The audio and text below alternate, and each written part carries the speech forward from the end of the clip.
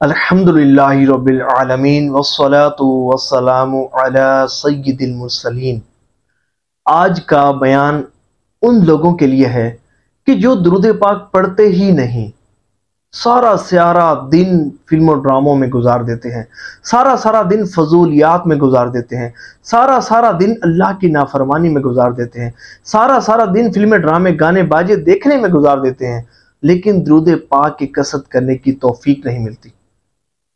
ऐसे ही एक शख्स था जो हुजूर पर दूध पाक नहीं पड़ता था। उसे ख्वाब में हुजूर नबी पाक अली सलाम की जियारत नसीब हुई।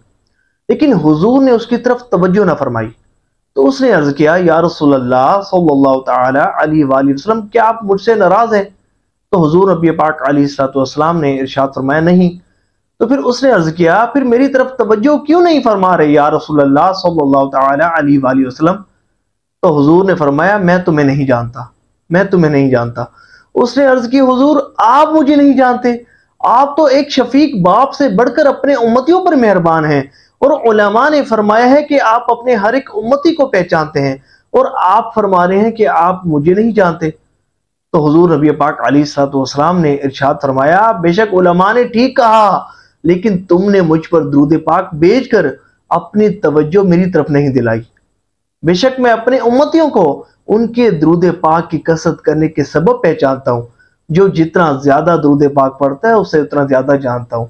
जो जितना ज़्यादा द्रूद पाक पढ़ता है, उसे उतना ज़्यादा जानता हूँ। तो जब वो शख्स अगले दिन सोकर उठा तो उसने जहन बना लिया कि आठ से कसरत से द्रूद पाक पढ़ूँगा। द्रूद पाक की कसरत करने को ही अपना वजीफा बना बना लिया। फिर कुछ अरसे बाद उस पर दोबारा करम हुआ। उसकी किस्मत अंगड़ाई लेकर जाग उठी। ख्वाब में हुजूर तशीफ लाए। हुजूर ने फरमाया, अब मैं तुम्हें जानता भी हूँ और बरोज कयामत तुम्हारी शफात भी करूँगा। सुबहान अल्लाह तो पता चला, जो दुरुद पाक की कसरत नहीं करते, वो हजूर नबी पाक अली सतम की तवज्जो से महरूम रहते हैं। और इससे ये बात मालूम हो गई कि जो बंदा दुरुद पाक की कसरत करता है तो उसे हजूर नबी पाक अली सलाम की खसूस तवज्जो नसीब होती है। उसे हजूर नबी पाक अली सलाम का कुर्ब ख़ास नसीब होता है और उसे दुरुद पाक की कसरत करने की बदौलत बरोज़ क़यामत हजूर नबी पाक अली सलाम की शफात नसीब होगी। सुबहान अल्लाह देखिए, आज हमारे पास फ़िल्में ड्रामों के लिए वक्त है। आज हमारे पास तमाम दुनियावी मामूलत के लिए वक्त है। आज सारा सारा दिन फ़ोन पर फ़ोन पर एवर एवर गॉसिप चैटिंग जारी है, लेकिन जबान पर दूध नहीं आता। कैसी जबान है?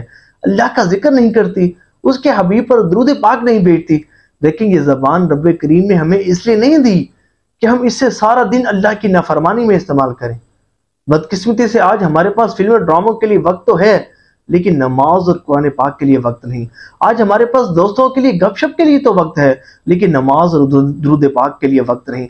आज हमारे पास दुनिया जहाँ की फजूलियात के लिए वक्त है, लेकिन नमाज़ और द्रुद पाक की कसरत करने के लिए वक्त नहीं।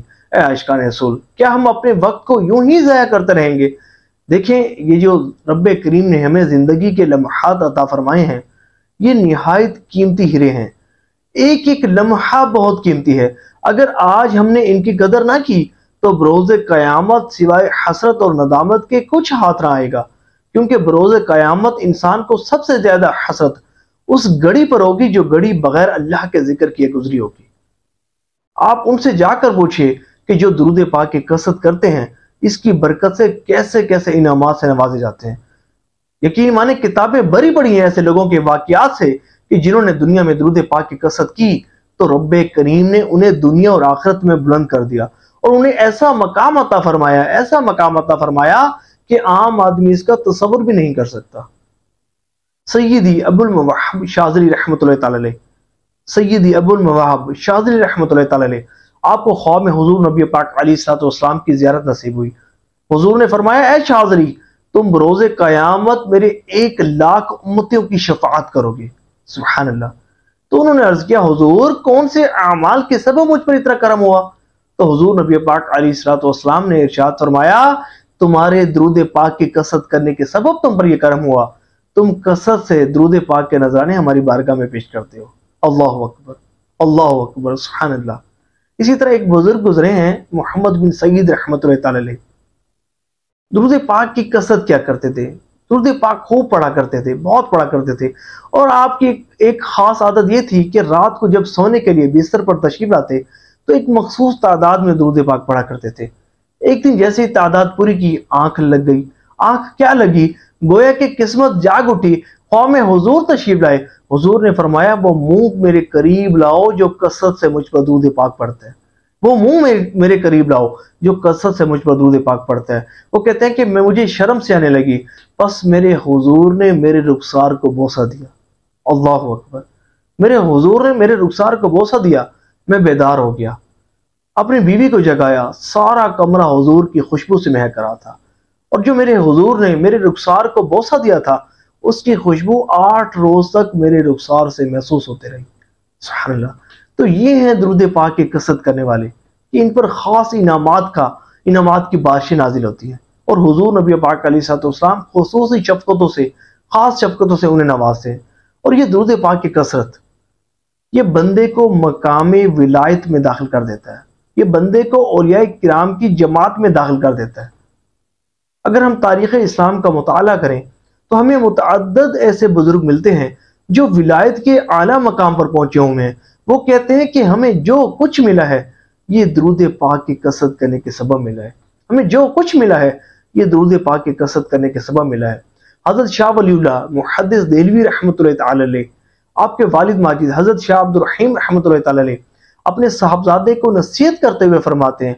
फरमाते हैं, बेटा, दरूद पाक की कसरत करना कभी ना छोड़ना, अपनी सारी ज़िंदगी कसरत से दरूद पाक पढ़ना। फरमाते हैं, बेटा, हमने जो कुछ पाया है ख्वाब दुनियावी इनामात हो या उखरवी इनामात, ये सारा का सारा दूध पाक की बरकत से हासिल हो गया। ये सारा का सारा दरूद पाक की बरकत से हासिल हो गया। सुबहानल्लाह।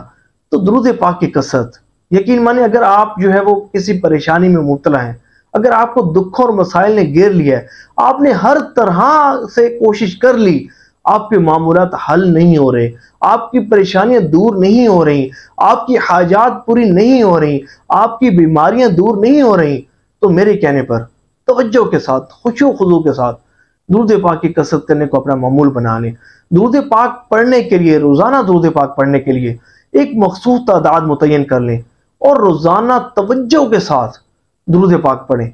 यकीन माने आप चंद दिनों के बाद खुद देखेंगे और खुद दूसरों को कहेंगे कि जब से मैंने दूध पाक की कसरत शुरू की है, अल्हम्दुलिल्लाह रब्बिल आलमीन, मेरे मामला हल होना शुरू हो गए हैं। मेरी परेशानियाँ दूर होना शुरू हो गई हैं। ऐसे ऐसे मामूलत, ऐसे ऐसे मसाइल के जो हल होने का नाम नहीं लेते, दुरुद पाक की कसरत करने की बरकत से वो मामलात हल हो जाते हैं, वो परेशानियाँ दूर हो जाती हैं, मसाइल हल हो जाते हैं अलहमदिल्ला रबीआलमीन और खूब खूब रूहानियत नसीब होती है, नूरानियत नसीब होती है। बंदे की रूह जो है वो तरक्की करती है, रूहानियत बढ़ती है। अगर कोई शख्स गुनाहों में मुबतला हो, अल्लाह की नाफरमानी में मुबतला हो, नेकियों की तोफीक मिलती ना हो, और उसका दिल बिल्कुल सियाह हो चुका हो, गुनाहों से आलूदा हो चुका हो, दिल पर जंग लग चुके हो, मोरे लग चुके हो, दिल बिल्कुल काला और मैल कुचैल से भरा, भर चुका हो, उसे चाहिए कि दूरद पाक की कसरत करे। दूरद पाक की कसरत ये दिल के जंग को दूर करता है, ये दिल के मैल को दूर करता है। लेकिन माने जब आप दूरद पाक की कसरत करेंगे तो इसकी बरकत से आपको नमाज़ और कुरान की भी तोफीक मिलेगी। आपको इसकी बरकत से अल्लाह की इतात की तोफीक मिलेगी, नेकियों में दिल लगेगा इनशाला और अल्लाह ने चाहा तो इसकी बरकत से आपकी परेशानियाँ भी दूर होंगी और हाजात भी पूरी होंगी। तो दुरुद पाक की कसरत हरगिज ना छोड़िएगा। कसरत से दुरुद पाक पढ़िएगा कि देखें, जब कोई शख्स एक मरतबा दुरुद पाक पढ़ता है ना तो अल्लाह करीम उस पर दस रहमतों का नजूर फरमाता है। उसके दस गुनाह मुआफ फरमाता है। उसके दस दर्जात बुलंद फरमाता है। दस रहमत के दरवाजे उस पर खोल देता है। अब तस्वर करें कि जो बंदा सौ मरतबा दुरुद पाक पड़ेगा तो अल्लाह करीम उस पर हज़ार रहमत नाजिल फरमाएगा।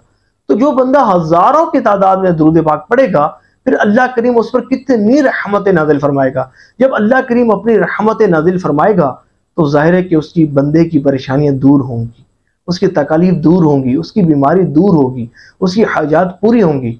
तो आज से ये जहन बनाएँ कि हम कसरत से दुरुद पाक पढ़ेंगे और ये जहन बनाए कि कम अज कम कम अज कम, कोशिश करें कोशिश करें कि कम अज कम हज़ार मरतबा रोज़ाना दरूद पाक ज़रूर पढ़ेंगे कि हजूर नबी पाक सलाम का फरमान अलीशान है मनसल्ला अलिया फ़ी यौमिन अल्फ़ा मर्रतिन लम यमुत हत्ता यरा मक़दहु मिनल जन्नह कि जो बंदा दिन भर में एक हज़ार मरतबा दरूद पाक पढ़ेगा, जो शख्स दिन भर में एक हज़ार मरतबा दरूद पाक पढ़ेगा, उसे उस वक्त तक मौत नहीं आएगी जब तक वो जन्नत में अपना ठिकाना नहीं देख लेगा।